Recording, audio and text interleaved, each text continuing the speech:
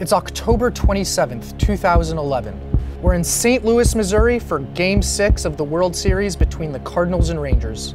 Texas is up three games to two and trying to close things out for their first ever championship.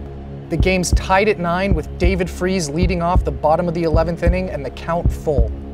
You might recall what happens next, but to truly grasp the power of this moment, you have to understand what's enabled the Cards to reach this point the 11th inning, the World Series in general, or even October baseball at all. So let's rewind. St. Louis is somehow still alive, but just an hour ago, the idea they'd have a pulse right now would have been absurd. A level of absurdity perhaps only surpassed two months ago with the idea of simply qualifying for the playoffs. The early part of 2011 was not so kind to the Cardinals. After picking up the club option for the final season of Albert Pujols' contract, their superstar first baseman gave GM John Mozeliak a deadline of spring training to work out an extension. This was a player coming off a decade-long run in St. Louis that solidified his place as arguably the greatest right-handed bat in baseball history. He won NL MVP three times, finished second another four times, and helped lead them to a world championship five years ago. So even calling him a superstar might still sell him short. But the two sides couldn't work something out, and it created a dark cloud over their season as it seemed likely to be his swan song in St. Louis. Then, over the next few months, the injury bug attacked him pretty hard. Just a few days into spring training, it was discovered that Adam Wainwright, their all star pitcher who was coming off back to back top three Cy Young finishes, while posting the second best ERA in the majors, would need Tommy John surgery, knocking him out for the entire season. The day after he homered in their season opener, all star left fielder Matt Holliday underwent an appendectomy, Pujols broke his wrist a couple months later in a freak accident, though he returned just 17 days later despite an initial projection that he'd be sidelined four to six weeks. Even manager Tony La Russa had to step away for six games to treat a case of shingles. Though they still made it all the way to this point, the 11th inning of the World Series' sixth game, with Freese at the plate trying to help in the Cardinals' pursuit to deliver another championship to St. Louis. Which might mean just a little extra for Freese, a local product who grew up in a suburb of the city and was a huge Cardinals fan as a kid. He even wore number 45 in Little League to pay homage to legendary pitcher Bob Gibson and attended high school about 26 miles away from Busch Stadium. Freese would be drafted by the San Diego Padres in 2006 before getting traded to his hometown team for longtime center fielder Jim Edmonds in December 2007, then eventually became their everyday third baseman in 2010 until he hurt his ankle in June before an August setback ended his season. Then this season, while dealing with issues to huge established names like Holliday, Wainwright, Pujols, La Russa, an injury to the lesser known Freese also had a tremendous impact. After an outstanding first month of the season batting 365, the third baseman broke his left hand when he was hit by a pitch in Atlanta on May 1st. That cost him nearly two months, and the Cardinals had a losing record during his absence. But they still wound up tied with the Brewers atop the NL Central at the All Star break, thanks to last offseason's signing of longtime division rival Lance Berkman, who was the league's best hitter during the first half of the season. In early August, about a month after returning from the hand injury, Freese got drilled with another pitch, this time in the head, again costing him time. But he'd return from all that to wind up here, and the pitcher he's facing right now is Mark Lowe, a Houston native who's got his own local ties to his team, having gone to college just a couple miles from the Rangers ballpark. He's also had his own up and down year in his first full season as a Ranger after a trade that sent him and Cliff Lee to Texas last year. He struggled over the first few months of this season, even getting optioned to the minors for a bit in April. Lowe got it together a little bit down the stretch, though a hamstring injury kept him off the Rangers roster for the first couple rounds of the playoffs. He obviously made the World Series roster, but has only pitched one inning so far, which was during Game 3 five days ago, in which he faced Freese and allowed a hit. Lowe being in such a high leverage situation right now might be surprising, but the Rangers being here is not. They are the defending AL champs, having made last year's World Series before falling to the Giants in five. Although they lost some key pieces from that pennant winning squad like Cliff Lee and Vlad Guerrero, they signed standout third baseman Adrian Beltre, shifting Mike Young to DH, and also fleeced the Blue Jays in a trade for Mike Napoli. While those two acquisitions have arguably been Texas's two best bats this season, Young was not pleased with his shifted role and demanded a trade. But nothing materialized, so his disgruntled ass remained while playing excellently for the ninth year in a row. Combined with second baseman Ian Kinsler, right fielder Nelson Cruz, and reigning MVP Josh Hamilton, the Rangers have a lethal offense. They were atop the AL West every day for the final four and a half months of the season en route to a franchise record 96 wins. But that wasn't enough to get home field advantage in this series. No amount of wins would have been. Because in Bud Selig's world, something as trivial as who gets an inherent advantage in the World Series shouldn't be determined by something like, you know, merit, but rather which league won the All Star game. And this year, that was the National League, thanks in no small part to this back-breaking three-run homer that losing pitcher C.J. Wilson, the ace of those Rangers, surrendered to Prince Fielder.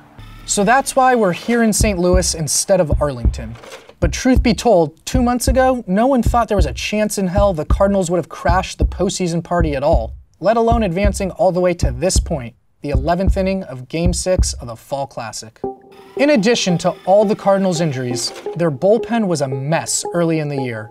Closer Ryan Franklin blew four saves by mid April before being demoted out of that role and eventually cut. They cycled through a few other guys that couldn't get it done before things steadied once they settled on Fernando Salas, then made a July trade that brought in starting pitcher Edwin Jackson and relievers Mark Rzepczynski and Octavio Dotel. However, it didn't look like any of it would matter that's because they woke up on August 28th with a 69 and 64 record, trailing the Brewers by 10 and a half games in the NL Central and the Braves by 10 games for the wildcard spot. But they got extremely hot, made another change at closer, installing Jason Motte after more than two months without allowing an earned run, and wound up winning 17 of their next 22 games, including 5 out of 6 against the Brewers. Nevertheless, it wasn't enough to take the division from Milwaukee, so for St. Louis, it was wildcard or bust. Fortunately, the Braves totally forgot how to baseball down the stretch. In that same period, they lost 14 of 23 games, providing the Cards a glimmer of hope.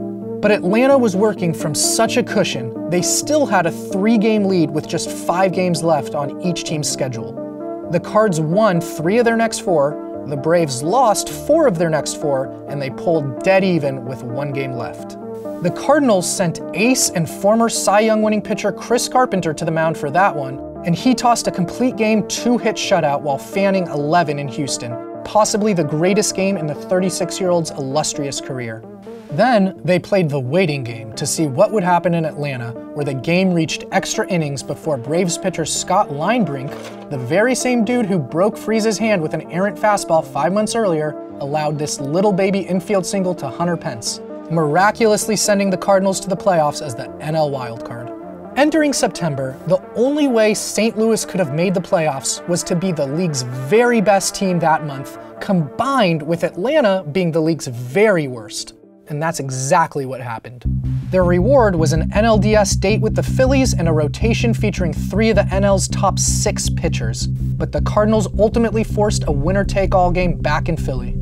It was a showdown between Roy Halladay and Chris Carpenter, best friends from years spent together in Toronto, guys that have vacation plans together in a couple weeks to go fishing in the Amazon rainforest. They put on an amazing pitching duel, and Skip Schumaker's RBI double in the first inning was all the cards could muster against Halladay.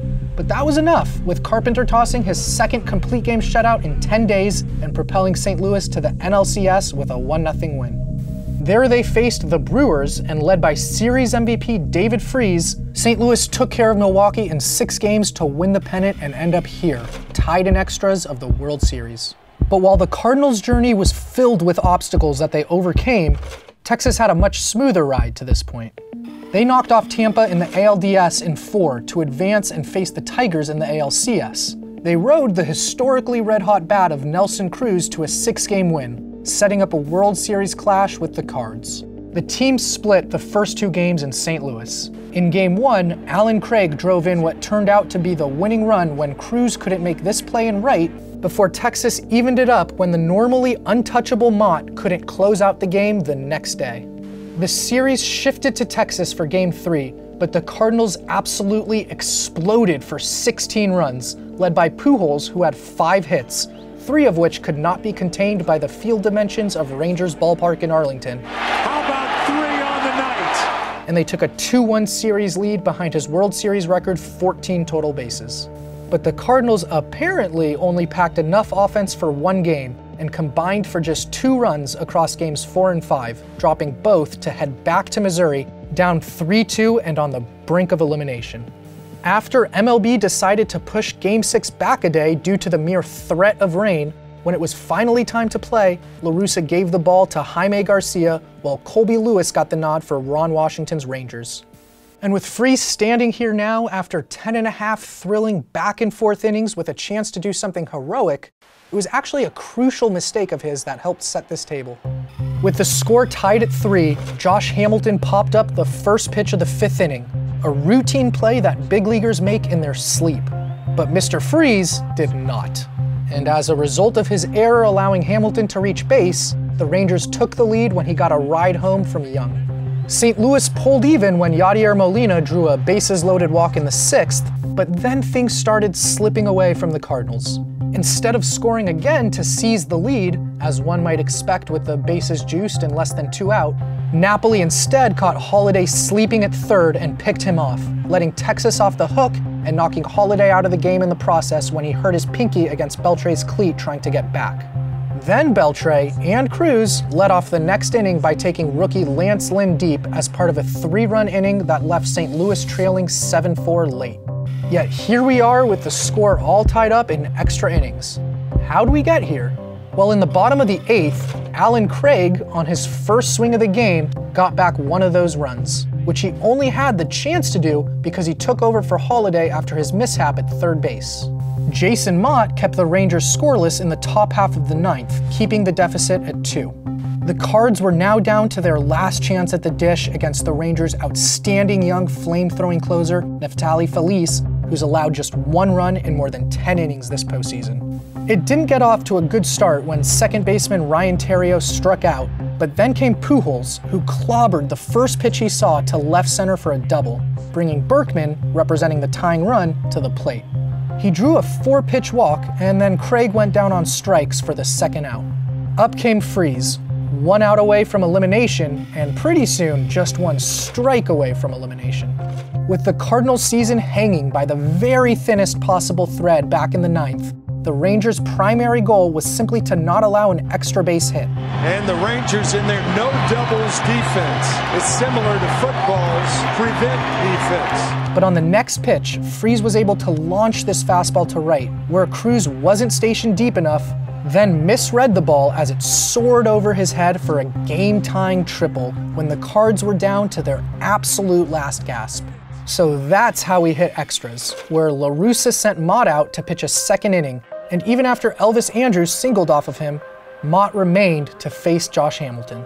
And though Motte has mostly been a rock in the back end of the Cardinals' pen, it's a curious choice. That's because La Russa had at his disposal this guy, Arthur Rhodes, a man who turned 42 years young a few days ago and who was actually a Ranger earlier this season, guaranteeing him a ring one way or another. He's a left handed specialist who's only been called upon twice this series, each time to retire just one batter, and each time that batter was Josh Hamilton. But not this time, and that was a 406 foot mistake. At the wall, Hamilton has gone deep. So again, the Cardinals had to overcome a two run deficit to keep their season alive. But they led off the bottom of the 10th with back to back singles, and a bunt moved the tying run to scoring position. Theriot drove in one with this ground ball, but that was also the inning's second out. And after Pujols got a free pass, that brought up Berkman, their final hope. Rangers pitcher Scott Feldman got a second strike off this foul ball, again bringing the Cardinals a single strike away from heartbreak. But again, they refused to die when Berkman slapped this single to center, keeping a season alive that should have died so many different times. And after the Rangers couldn't do much against Cards pitcher Jake Westbrook, that brings us here, to the bottom of the 11th with the hometown kid Freese leading off with Mark Lowe on the mound, trying to cap an up and down evening to force a Game 7 the next day for all the marbles, about 46 minutes after already rescuing them from certain defeat. Lose this game, and it would be a crushing end to the two month fairy tale that got him to this point, while possibly marking the end of an era with their first baseman who's been such a monumental figure and face of the franchise for 11 years. But win, and we will see you tomorrow night. Welcome to a moment in history. Freese hits it in the air to center. We will see you tomorrow night. The Cardinals went on to win Game 7 the next day to become world champs, then saw Pujols sign a $240 million contract with the Angels. Anyway, thanks so much for watching, and don't forget to like, subscribe, and click to watch more of our stuff.